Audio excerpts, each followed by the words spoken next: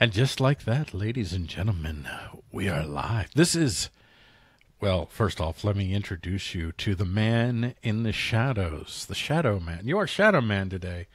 You are I Lou am. Sander. Welcome, welcome to Thursday, Thank I you very want- much. It's a pleasure to to see Thursday. isn't it? Well, it's. Always, well, the the alternative to not seeing Thursday is well, it's it's darker than where you're at right now. It's Yeah, it's be- pretty. because because who wants to be stuck in Wednesday for eternity? Uh, what what? Oh no, never mind. I was thinking uh, Groundhog Day. That was a Saturday, wasn't it? Bill Murray I don't know. movie. Was that a Saturday? What day was that? Whatever day really that sure. was. I want it was on day. Groundhog Day. Actually, I would love to experience Groundhog Day like that. You had day in and day out. He became a virtuoso on the piano and other things. I'm not going to mention the other things because I'm a married man. But he had to he had to rob the uh, uh what you call it the the armored truck all those times. Well, not really rob, just kind of let the uh, bag of money fall where it where it may, and Right. Oh, yeah. know. Yeah. Yeah. He had to cut. But imagine if you were like a diehard, uh, way out there ANCAPper and you just had to go around telling everybody taxation is theft and you kept winning people over and then the next day you kept having to do it again. If you were an ANCAPper, like a diehard ANCAPper, you'd do it every or if, or if Well, every day was taxation is theft. election day. Ooh. Ooh. Oh, you voting? Oh, are Every, you every day's voting? election day. Are you voting today? Who are you voting for? no, make it stop. Oh my gosh! Every day, every day. And and on that note, folks, we're gonna play our two minute warning. This is time for you guys to grab your popcorns, your beers, whatever else you need to get yourself all fired up for this. This is the actual first ever iWire Pulse Thursday featuring Lou Sander and myself, Paul Gordon. We'll see you in two minutes. That gives me time to blast out my promos. Tonight. I must not fear. Fear is the. Wait, wait, hold on. I'm gonna go back. I I clicked on the two minute warning, but go ahead and say that, and then I'll go back to the two minute warning again. Go ahead. Tonight tonight's show is brought to you by beer. Beer. It's what And it's- people drink. And the second half will be brought to you by bourbon. Bourbon. Hey, if we get to bourbon time, that means we had a good show. I must not fear. Fear is the mind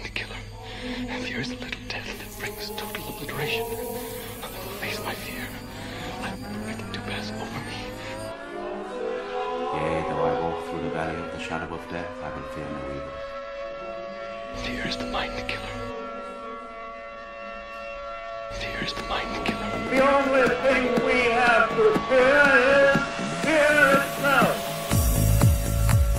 Fear is the mind killer. Nameless, unreasoning, unjustified terror, Fear is the mind killer. which paralyzes needed effort Fear is the mind killer. to convert retreat into advance,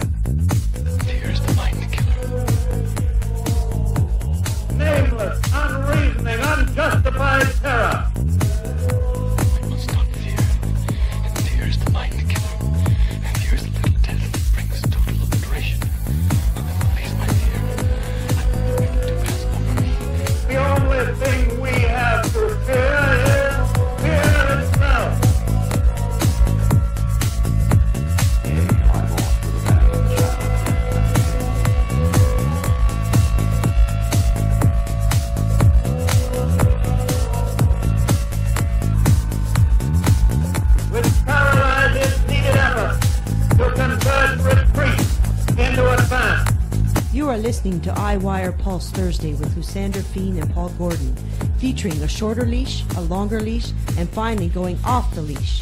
And now, here are your hosts, Lusander Fiend and Paul Gordon. Oh, she got your name wrong. What, what should I do Yeah. about that?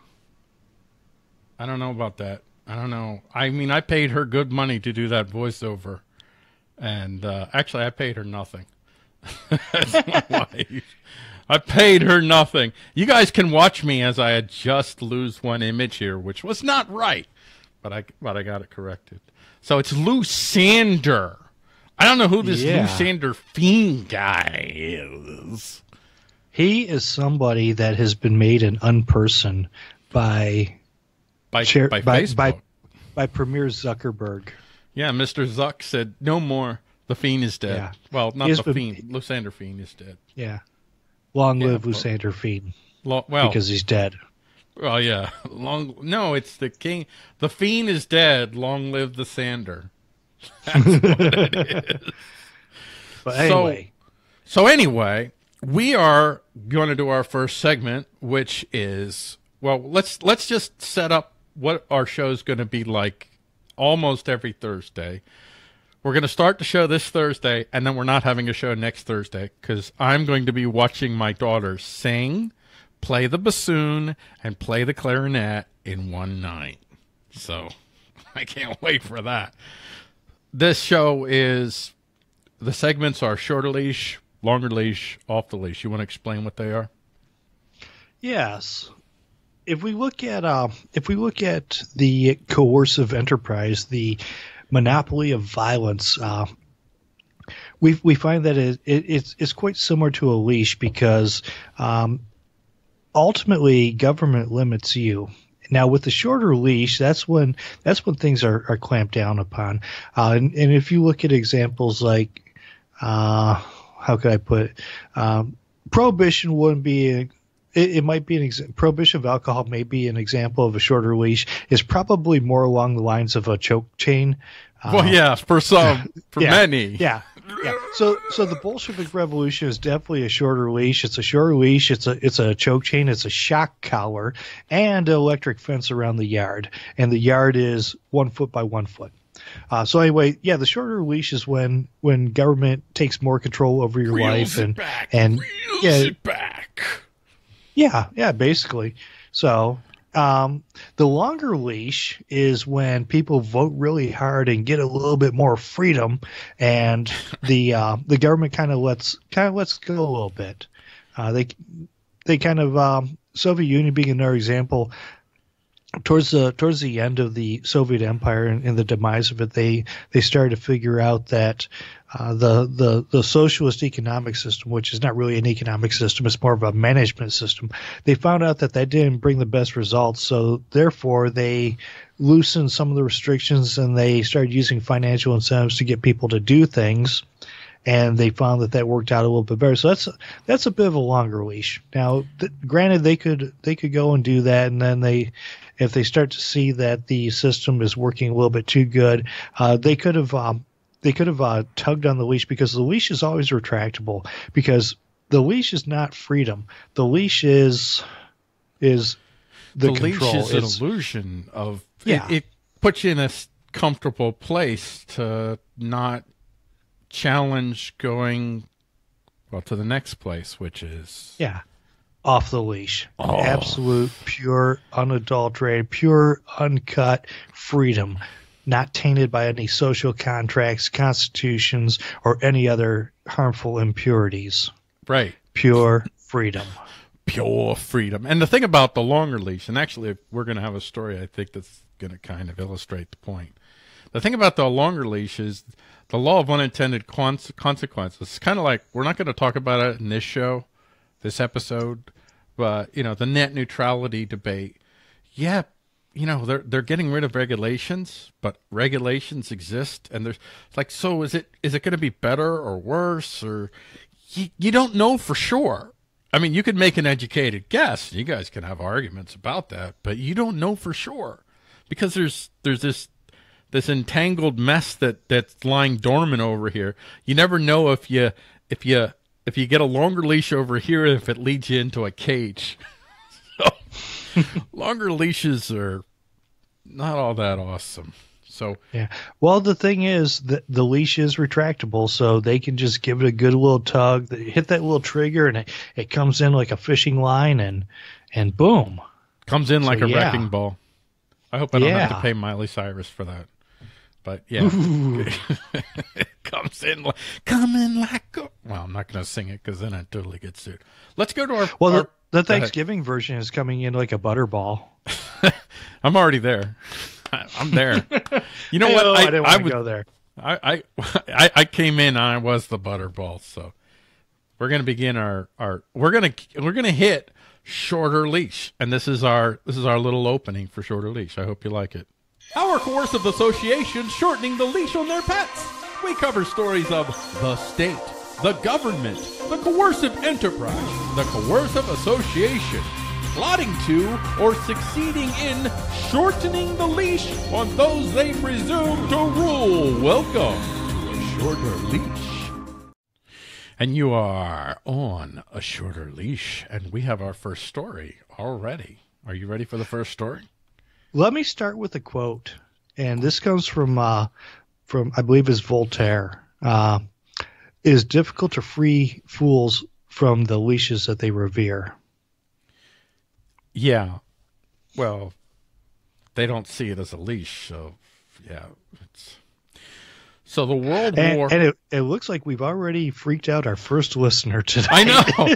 I've never gotten a comment like that on, on doing it. It's like, uh, yeah, we freaked out our first listener, Marcelo Serrato. Marcelo, sorry.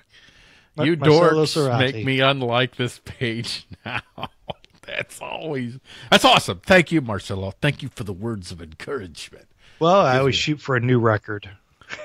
yeah, you got it. You got it. Good, good, good show, old man. Good show. So the world war over IP heats up as the race to control IP in emerging markets accelerates. Did I'm assuming you read this article and you did the homework and you got this all figured out because this is a- No, but I can crazy. discuss the subject. so this is Asian IP threats and opportunities high on the agenda for corporate Australia and New Zealand.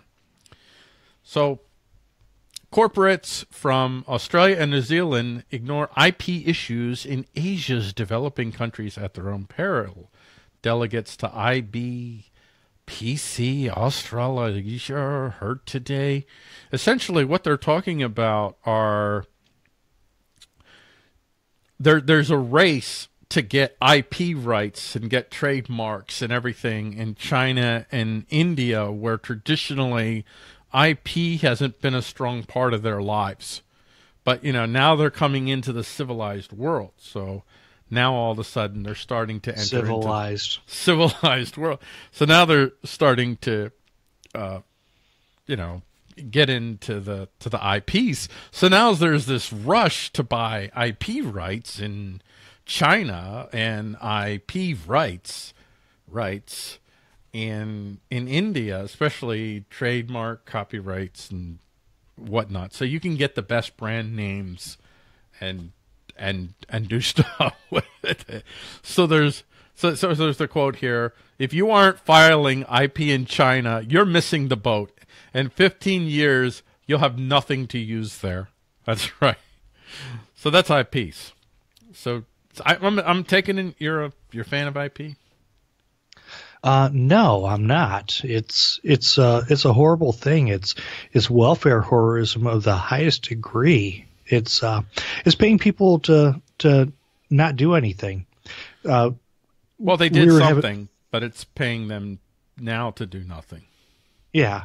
Well, we were discussing it before, and you were relating a couple stories to me of uh, IP battles and, and just how horrible it is.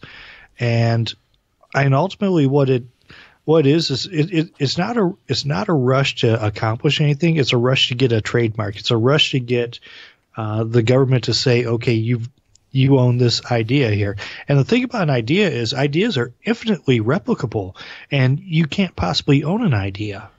But to, to make make matters even worse, if somebody comes out with an idea, and I'm not sure how far the ownership of that idea stretches, but if somebody else comes along and makes some improvements to it, so long as it falls within a certain uh, closeness of the original idea, maybe I, I, I'm not really sure. Uh, the original people that the, the patent holders or trademark holders, whatever it is, uh, uh, the, the the the rent seekers. Yes, rent Would- seekers. That's a good Yeah. word for it. Right. Yeah, so and, and I'm not talking about rent seeking in the good way to where you own property and you rent it out. I'm talking about the people that uh, go to go to government to make their to make their living to get their daily bread, so to speak. So if if they do a um, if, they come up with an idea, they get the patent for it, and somebody else comes along and makes an improvement on it, and correct me if I'm wrong. Is there is there a, a certain amount of uh, improvement that uh, that they can make to where they escape the original patent, or is it um, that the idea is always owned and, and any improvement that's made becomes the ownership of the people that didn't do anything to do the improvements? I don't. I don't think the you don't you don't have to.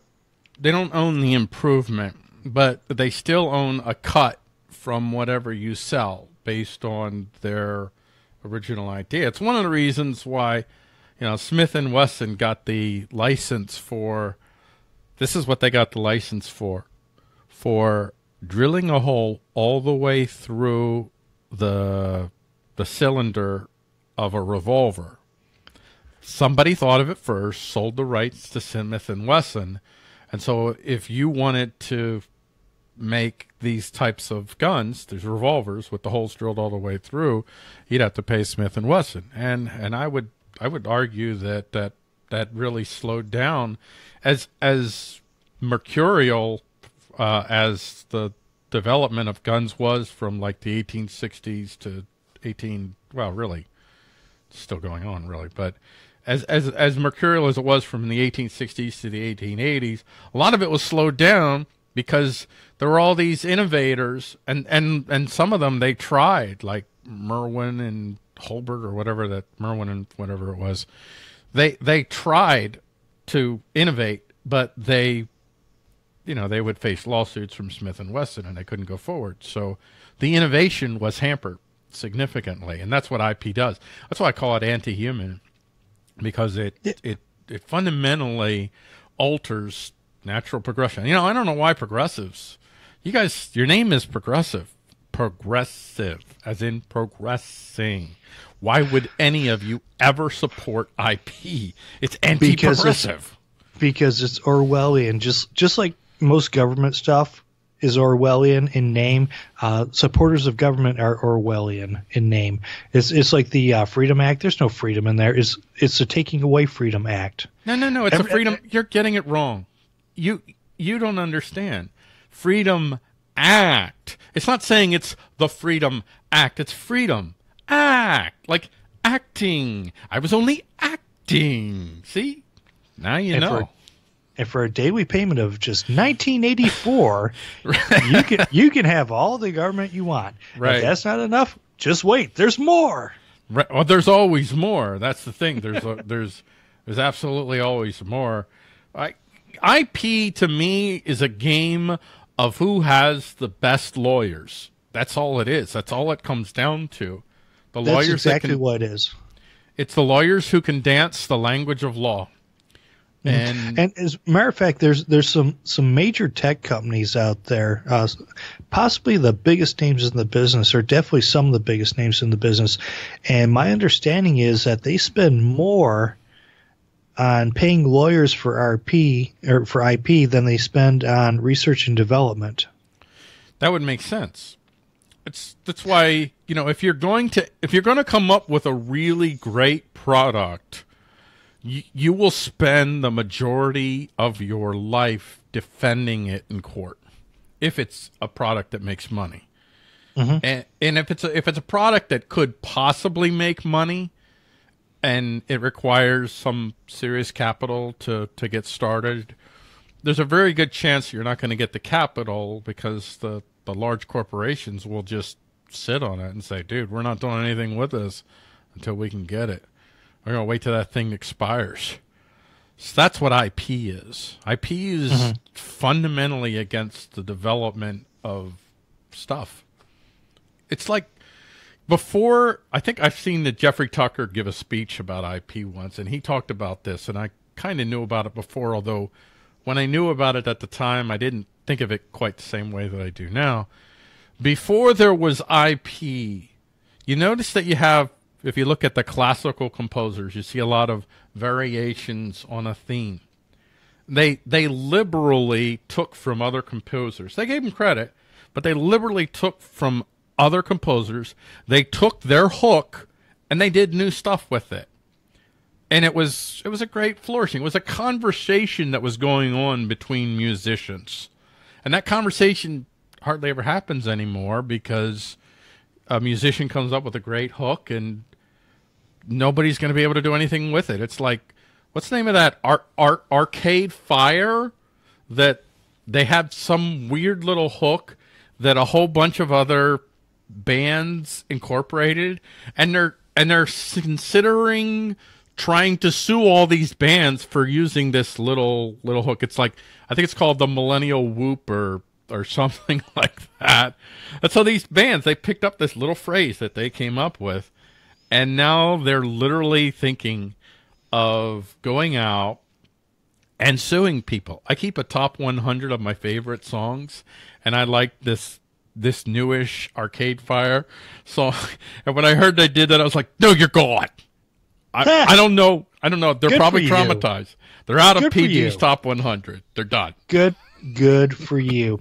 Yeah, the, Yeah. The, the thing the thing about IP is it, it is it really stops the innovation because you can't build on it.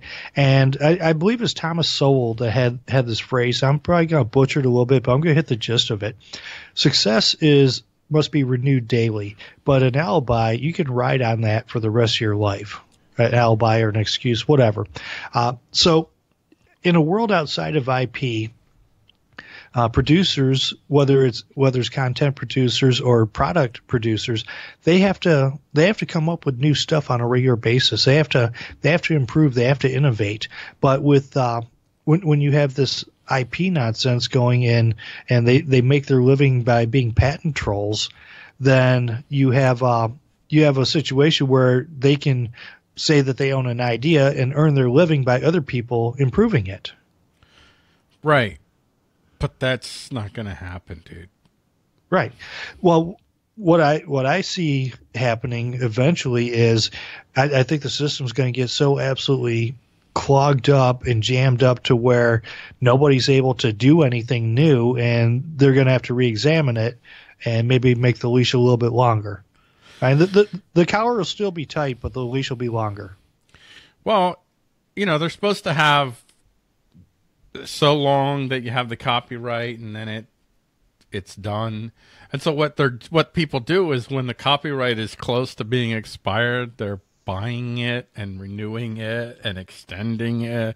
So you got movies from the 30s and the 40s for instance that still have copyright on them. Imagine what would what could be done if somebody had the freedom to just take those movies and those movie clips and play with them.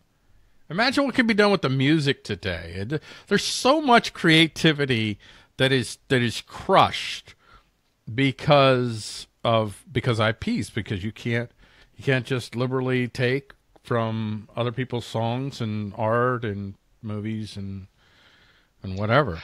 Was- Well, let's let's take a step further. you did that one Uh, thing. Yeah, I, I I love movies. I love music, and, and those things are really nice. But let, let, let's take a step further. And what if you didn't have this IP on medications? What if somebody could come along, take a medication that's currently in existence, and maybe they know something that somebody else didn't know, and they take that medication and they make an improvement upon it to where it saves even more lives? Well, what if? That's a big what if. Yeah. Now, So- what they'll argue is, well, you know, we put a lot of money and research to develop these products, and you know, especially especially medicine. Medicine does cost a lot to develop and bring to market. One of the reasons, though, is because of the of the, the FDA and what you have to pay to go through the FDA. So they're you know they're putting millions and millions of dollars to invest in these medicines before they get it to market. So they're like, dude, if we didn't have the IP to protect us for this period of time, we wouldn't have the incentive because as soon as we developed it, somebody would be able. But to when just- you look when you look at so many of these IP laws that raise the cost of bringing something to market, because uh, an argument could be made that these that these uh, pharmaceutical companies have lobbied the FDA for these regulations to create a barrier to entry to new market actors. Yeah, and they do. So- it rises, and so and- essentially, what they're doing is they're they're taking poison that they've built up a bit of an immunity to, and hoping to expose others that have no immunity to it and kill them with it. And the Kill them poison being the regulation, with their the song. barriers to entry. kill them softly with their song. You mean? Let's let's be civil here.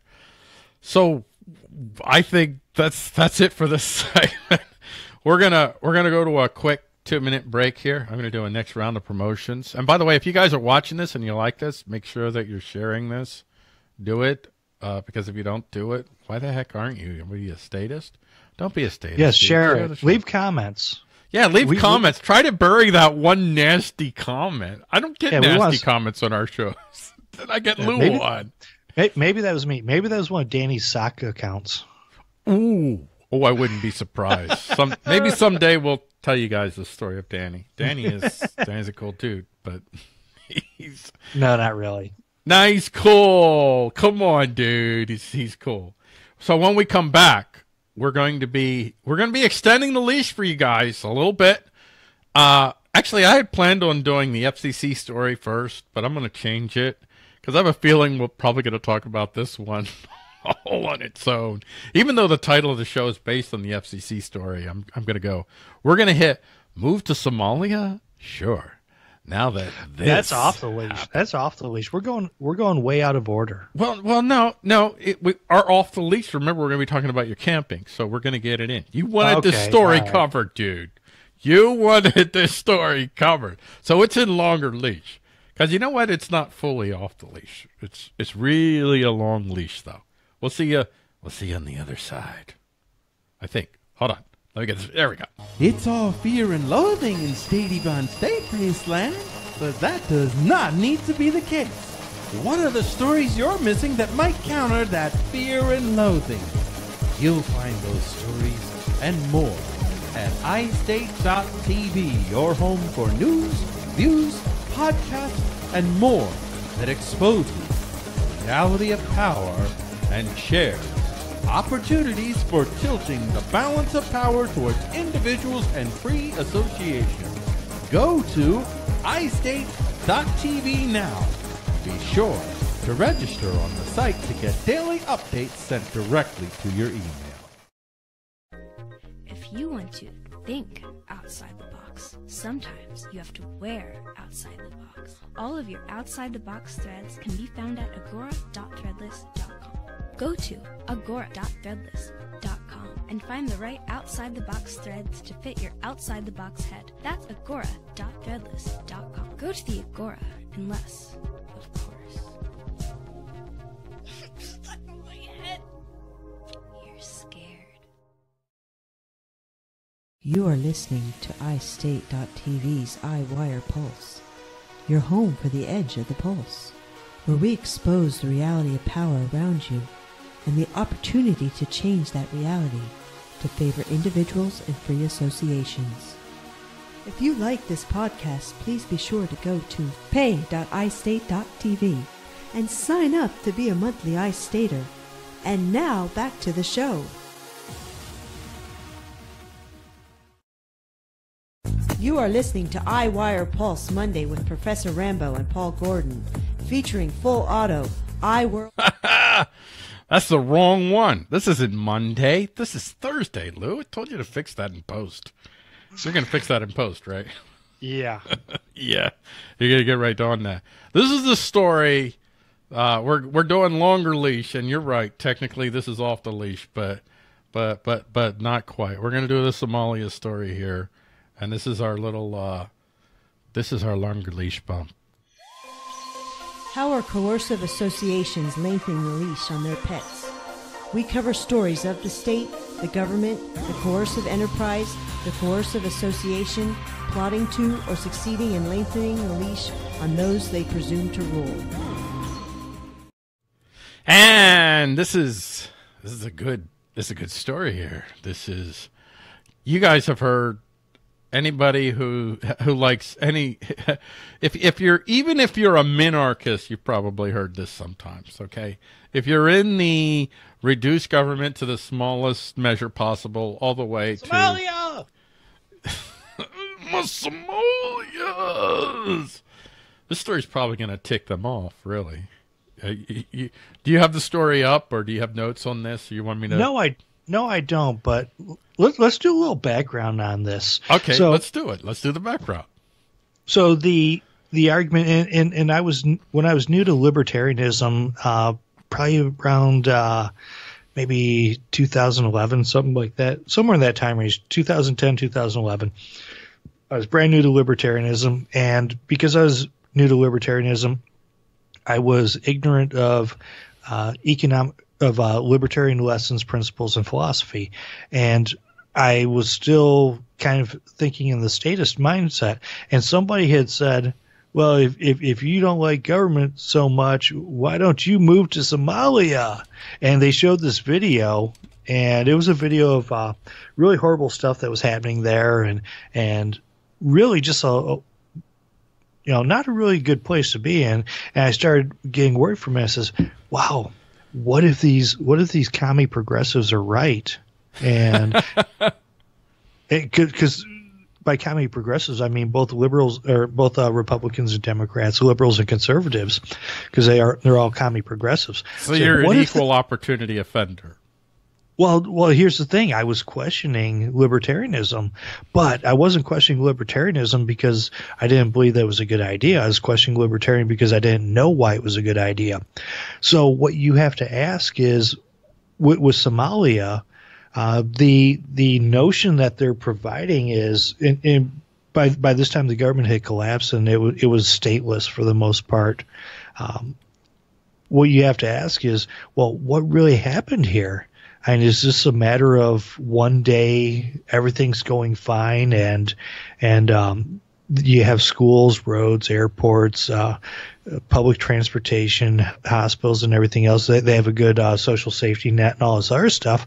You know, everything's fine, and then you just wake up one morning and and, and boom, gone. The government it, it is gone. It is shut down, and and Right. and and before you can have your morning coffee, the warlords are out in the street and they're they're doing this and and and Yep. you, you have no. Well, actually, the warlords I don't even think you can have coffee at that point. Your, your the- coffee's the- probably magically gone too, because without Yeah. government, Well, the warlords are not out in the streets. The warlords are out in the dirt where the street used to be because this somebody came through. Some government employee came out. They came out. They rolled up the roads, put them on the back of a truck, and took them off to some warehouse somewhere.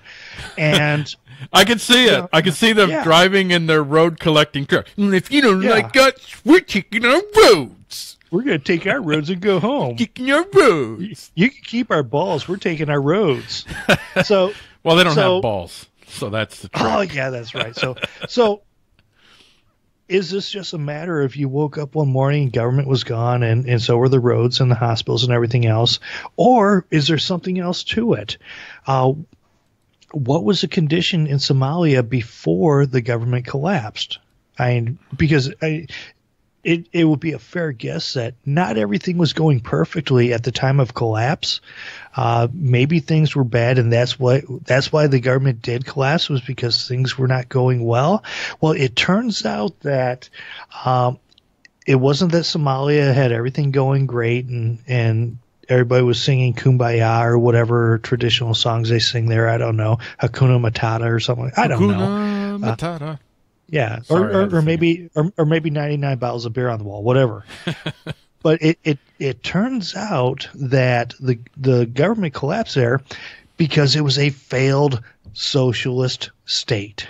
That's right. It was a failed socialist state, and the people that are complaining about the results of a failed socialist state are the ones that want to create a allegedly successful socialist state in their homelands. Uh, in, in this case, they're Americans. But what they don't realize is that socialism cannot be uh, successful, and socialism is always going to fail. The only question is what the timeline is. So Right. well, Somalia, and the timeline Somalia is affected of yeah. by how much go you can loot from the outside and bring in. The The less you can loot from the outside and bring in, the faster it collapses. Yeah. So they're they're complaining that Somalia turned into what that Somalia turned into the inevitable outcome of their master plan, and they're complaining because it collapsed. Now, ultimately, what was what was the condition of Somalia prior to the collapse? Uh, Somalia, like most African countries, was was never really industrialized. It was it was never it was never a big economic power. You you know it's it's uh, or the neighboring countries. I think Ethiopia is one of them, and they're absolutely dirt poor. Correct, Ethiopia. Ethiopia is I don't know if they're dirt poor, but they're Yeah, they're not yeah they're rich. dirt poor. Yeah, and they're the neighbors. Is is Kenya in there also, or is is that somewhere else? I, I'm not good with with uh, uh, African geography. I can check. I Okay, can you that. do I'm you do checking that. I'll Well, I check. You do what you do. Okay, Yeah. Somalia, check, Kenya's to the south, Ethiopia's to the northwest. Okay. So what we have is is is countries that uh, they're all pretty poor. There, there's no real economy going there. It's it's a lot of uh, nomadic and farming and, and stuff like that. But I, you you don't have BMW plants there. You don't have the Ford plant. You don't have. There's a lot of stuff that you don't have there. You don't have much of anything in in many regards. So it, it really wouldn't it really wouldn't advance uh, too much on its own, especially with the government, because in Africa you have a you've had a lot of socialism throughout the throughout the the 20th I mean, century like- in Africa. I'm good. No more. No more socialism. I'm good. Yeah. Like Yeah, that be- level. Yeah, because because if you look at the resources that you have there, and and the Soviet Union is an example of this. Uh, there's plenty of resources in the old in the former Soviet Union. Uh, Siberia is is very rich with resources, the oil, gold, I just all these different minerals, the, the lumber, I know all this stuff. Uh, the the problem that the Soviets have is Siberia is a horribly inhospitable climate. Uh, I, the the, the territory is just it's not good. yeah. So I, Their you- summers are three days. So yeah, yeah. Th- They hope the summer falls on a weekend each year. that's it. Right. Oh, it's But- but- Wednesday. Dang it! Summer fell Yeah. on a Wednesday. yeah, but in comparison, you don't you don't have those harsh winters in, in these African countries.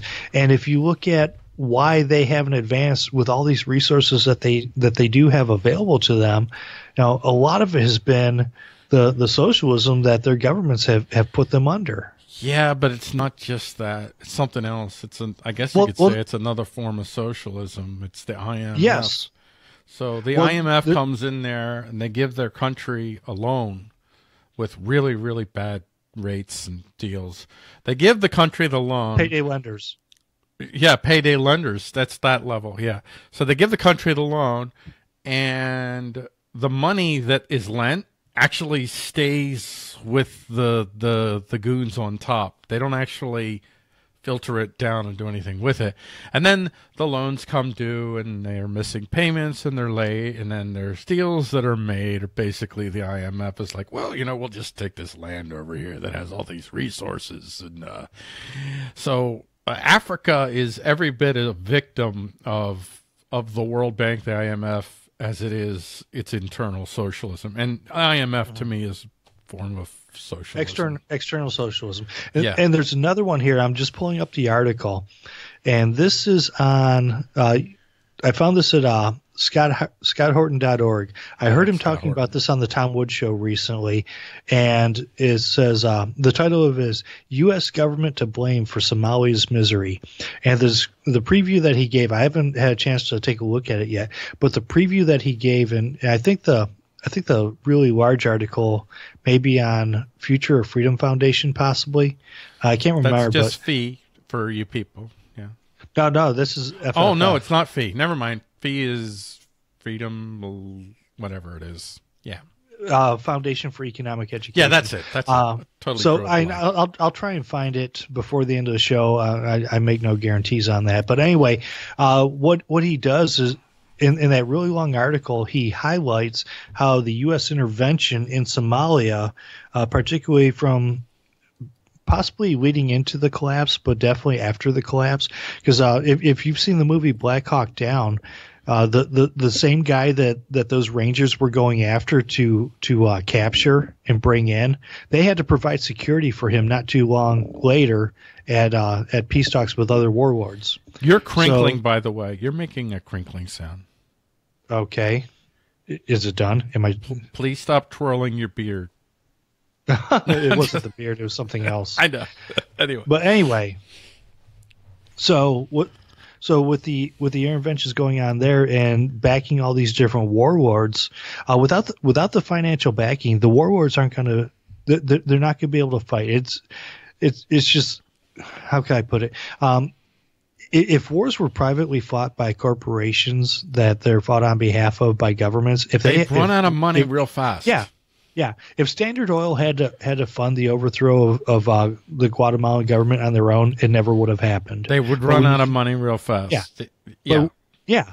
But when you can socialize the, the the cost of this and privatize the profits, then yeah, I just why not? And Yeah, you, the you get- warlords are getting for whatever you know. The, all these different countries see an opportunity to get some sort of uh, foothold on Somalia, which has geographical strategic uh, significance. In addition to all that, in addition, oh, we, our live video was interrupted for a bit, but it'll it should be back here in a moment. is And that what that dinging was? Yeah, that was my OBS was punching me in the face. It said Okay. OBS right. is disconnected, but it's back now. So All right, we're- for a minute, I was thinking that uh, that I was getting notifications for for something stupid on my computer because it makes a noise. I thought that I I thought that I uh, got rid of uh, the sounds on those things, but Well, this is a sound that I kind of want to hear if it happens. It's kind of important. It kind Okay, of well, matters, yeah. dude. So, in addition to all this, you're only telling part of the story because every time people say Somalia, that's all they think about. And what you're describing, though, is not Somalia. It's southern Somalia. Because well, well, let's take a step further. Uh, ben Powell, and he's with the Independent Institute. He's done quite a bit of uh, research on um, the big things that he talks about that really shock the living daylights out of people are how sweatshops actually benefit the people that work there rather than exploit and, and torture them. Um, he also you don't- talks you don't- about uh, Well, yeah, I I know I know that argument. It's you know you're these these these do-gooder Westerners are like you're child labor and you can't do that. And, you know you don't realize that that economy is at a stage in their development where the choice for their children at that moment in time is to work or die. Not just mm-hmm. them, but their whole family.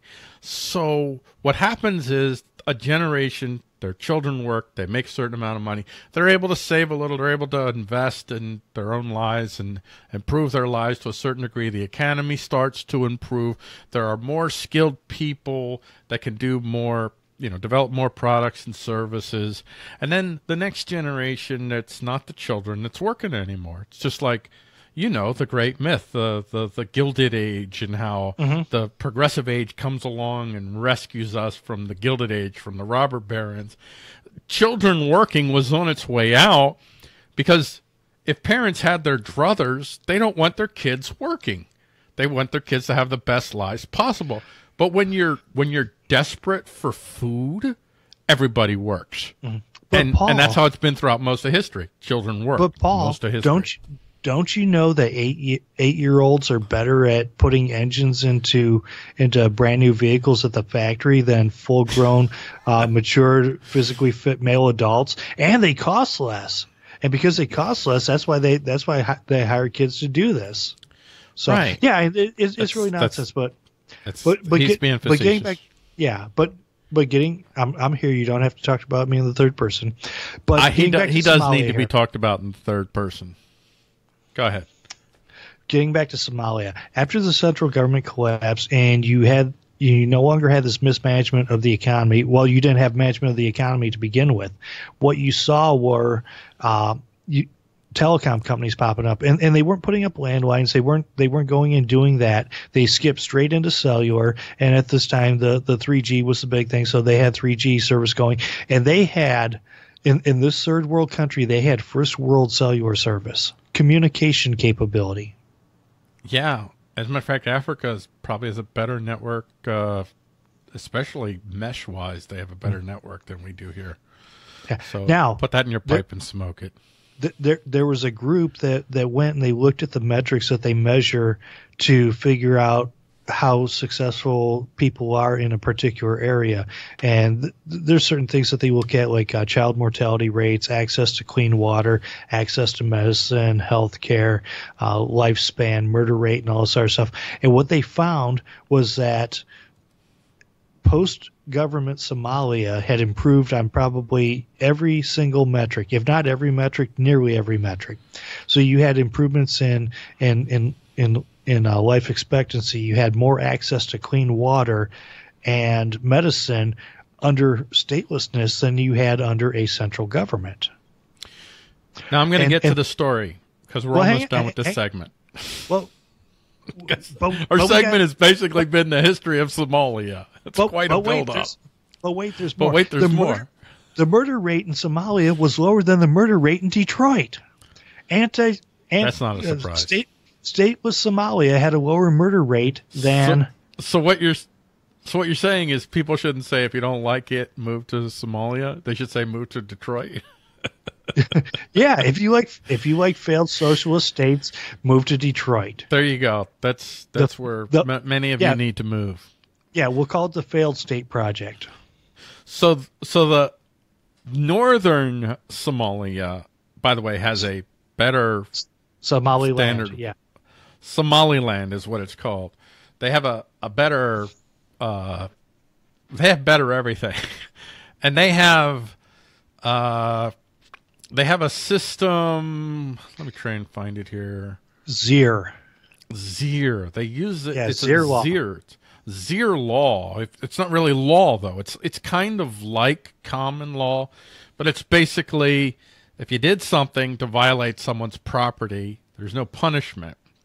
There's recompense. You have to make do. And and it's a very clannish community, so the accountability among one another is pretty freaking high.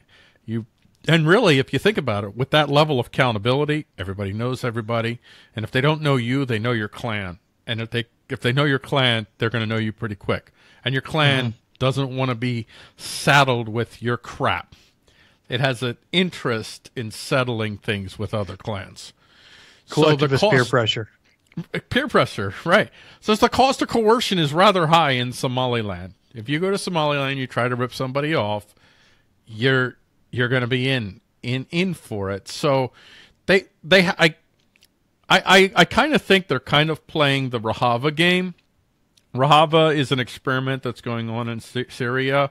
If you go to iState.tv and search for Rojava, we co- we try to cover it regularly. Uh, they use status type of terminology and they kind of use the status language. And I think in part they use it because if they don't, if people look at what they're doing and think, wait, these are like actual anti staters, well, I don't think they're going to cotton to that. So I think they kind of play a game here. But they've they've been around since where's the date here? Uh when were they founded here? You see it here, 19, some, maybe 19, 1991, uh, May 1991, they were formed right after uh, southern Sudan collapsed. I mean, southern Somalia collapsed. The government collapsed. And so Somaliland took the opportunity to say, dude, we've been wanting to get away from these people for a while. So they declared themselves Somaliland. They haven't had any recognition. And now they're finally getting recognition. And it's perfect where they're getting the recognition from because the recognition is coming from DP World, which is a harbor, a port management company. And they made a deal with them to build an enterprise free zone in the same kind of tradition as Dubai, like what Dubai had with their, it's called the, uh, the, the Jebel Ali free zone. This one's going to be called the Berbera Free Zone. So, what's going on in Somaliland? You have uh, a system. They have they have they don't have status type institutions like we have. They don't have laws that try to preemptively stop you from committing crimes. They punish they don't even punish you. You just have to make good. If you if you if you kill, if you hurt, if if you steal, whatever, a price has to be paid. and it has to be paid by you and or your clan. So it's kind of like uh, I don't know if I want to call it complete statelessness, but it's it's real it's real close there. So kind of ironically, if they say if you don't like it here, move to Somalia, well, you you're going to want to becoming say more yes. viable. It's It's becoming, becoming more, more viable. viable. Yeah. it's becoming more viable. You're going to want to you're going to move to that free enterprise zone, that Berbera free zone. Go ahead, set up shop there, and and there you go. So we we spent most of this segment talking about the history of some well, the recent history of Somalia before we got to the actual story. But I think it was worth it. We're we're we're not going to take the last break here because we're we're almost we got like ten minutes left, so we're not going to take our second break. Instead, we're just going to transition. Oh, I realize I just had my my thing on you the whole time. It's been showing just you for about ten ah. minutes, even even while I've been talking. I got to get the hang of of changing these scenes. It's hard to do it while you're doing the show. I'm gonna play the. I gotta play the intro though. I gotta play the intro for our last segment. Are you ready for the last segment? I, I'm ready. Bring it. Best segment. How are others enjoying lives that exist beyond the reach of the leash of the state, the government, the course of enterprise, the course of association? How, in other words, are people living off the leash and how might we join them? And now we're off the leash. And you can't see it. I don't know if you can. If you can see it, if you could see the background. Are Yeah, I'm not on your watching the video- I'm not oh, watching the video right now. You can't see it, but the the background is some mountains. Got the the forest behind us, and it's kind of fitting, you know, being off the leash and what we're going to actually talk about. What we're going to talk about is how do you live off the leash, Lou? I can I can see it now. I just brought up the I just brought up the page to take See- a look at see, it. if and Uh, when you get a green leash. Well, screen, one the- you I- could be in the wanted mountains to talk with about me. camping here, Camping. and I I don't know that it's necessarily living off the leash, but it's it's certainly uh, no, it's not, but certainly it's- liberating. But it's it's it's it's having a little slice of off the leash. Right? Yeah, yeah. Yeah. Yeah, 'cause mean- what what I'll do is um, I grant I, I have a nice little camper. You've seen it. Uh, you, you've I've sat been in it. We've done an interview. Yeah, yeah. I've done a show I- with you in your camper.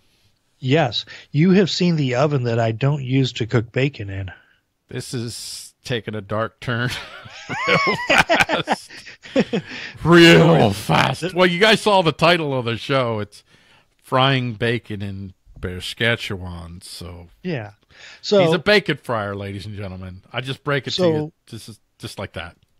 Yeah. So a lot of times I'll be set up in a campground that has electricity, and that is my preference because I, I I like to be able to run my equipment and everything, and and uh, not gobble up all my propane and battery power.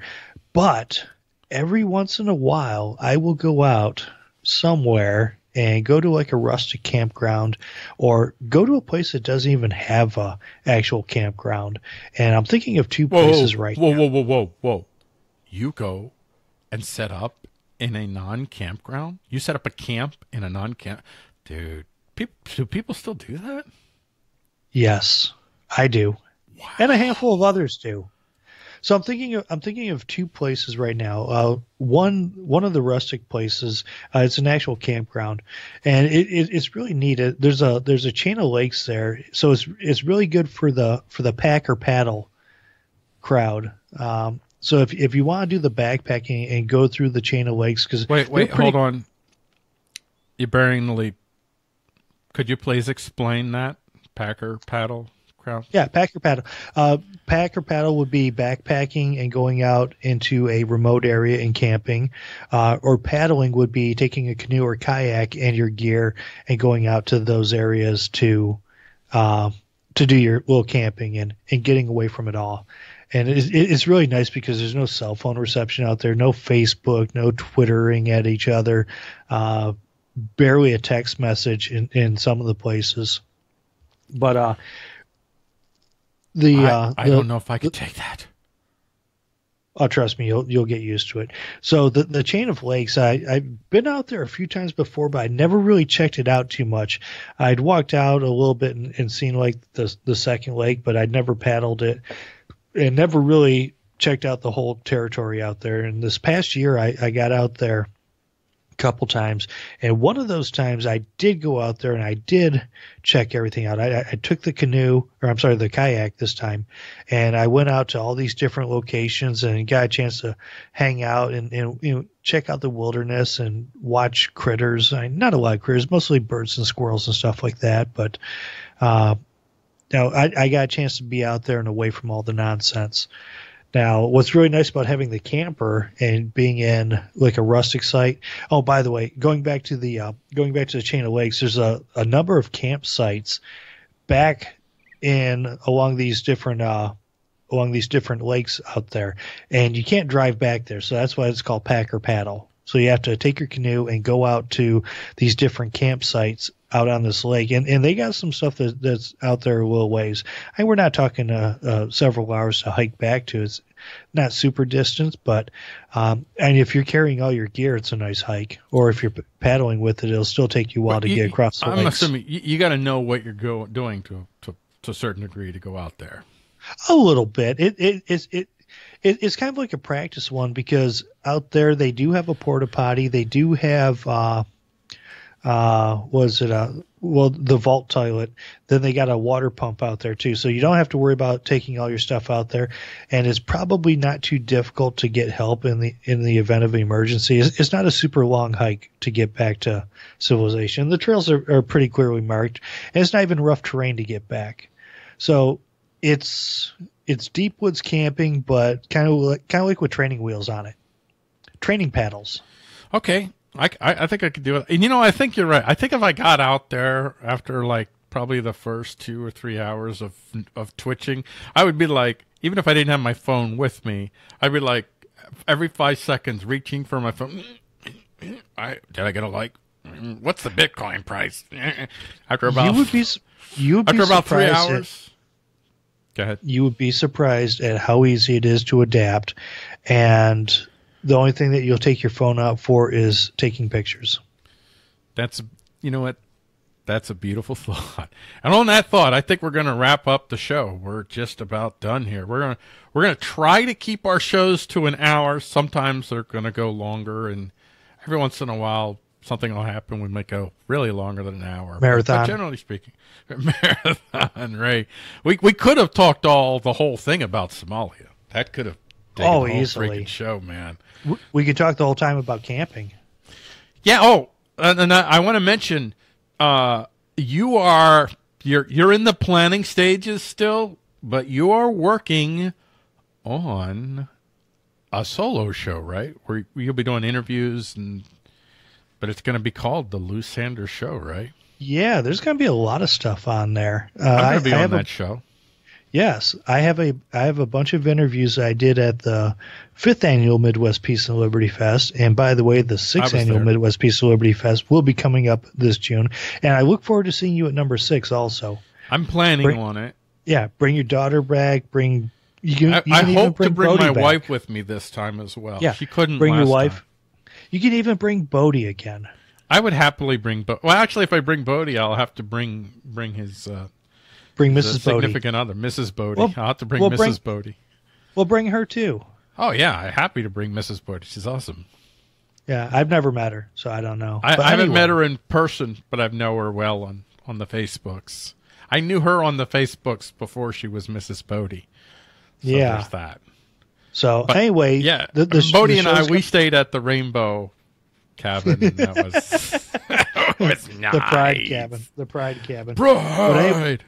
But anyway, there's I'm going to be posting the epi- the interviews from the Midwest Peace and Liberty Fest last year, and also I'm going to be doing uh, a lot of other interviews and and and talk about solutions. Um, Yeah. It- it's really gonna it's, it's gonna be the opposite of the Occupy movement. It's gonna be the vacate movement because I if like you have a situ- if you have a situation that you can't fix, vacate it. Don't occupy it. Don't waste any more effort trying to revive that dead beast.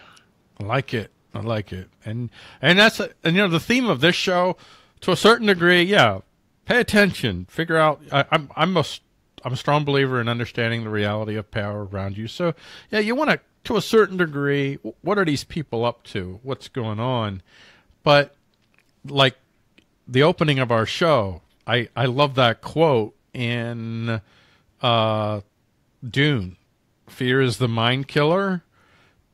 They hit you with fear porn every day and they paralyze you with fear. And and to a certain degree i'm not saying fear is not a bad thing. Sometimes fear is a good thing. I don't i don't think you should cut fear out of your life. But but they want you to live in fear. They want you to be paralyzed. So this show yeah we're going to highlight some things that maybe you should be paying attention to but all of our all of our shows monday through thursday our last segments specifically are all about uh, hope. There's, there's a lot of great stuff going on out there. That's there's reason to be optimistic. I'll say that the the tide of history is strongly against the course of enterprise as you know it. The advantages that his has had over centuries are fast coming to an end, and something's rising, and it's not another course of enterprise. And that's The- what we're the gonna only- try and talk about. And the thing that's going to be necessary to uh, obtain freedom, I'm not talking about this fake freedom, faux freedom. I'm talking about pure, un, pure, uncut liberty.